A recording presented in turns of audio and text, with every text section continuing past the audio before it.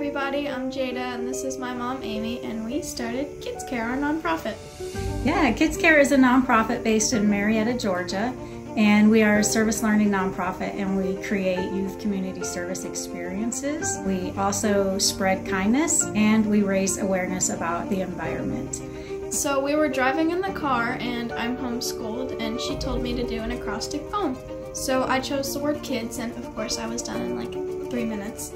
So she's like, okay, what does it stand for? You weren't supposed to be done that quick. I'm like, it's kids and it stands for kindness and doing service. And she's like, er, what? Like pulled the car over and she's like, what does that mean to you? I just wanted to get a group of kids together and do nice things for people, but I wanted to do what the kids wanted to do and not what adults told us to do. And I said, let's do it. So we started a first project in the fall of 2018 and Jaida had the idea of a book drive.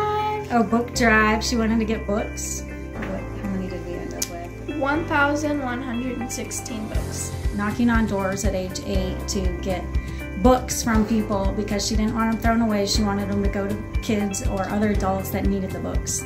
So after hearing from the kids and the families and the parents and seeing what a beautiful idea and how this was spreading good immediately within the kids, I decided to go ahead and make it a nonprofit.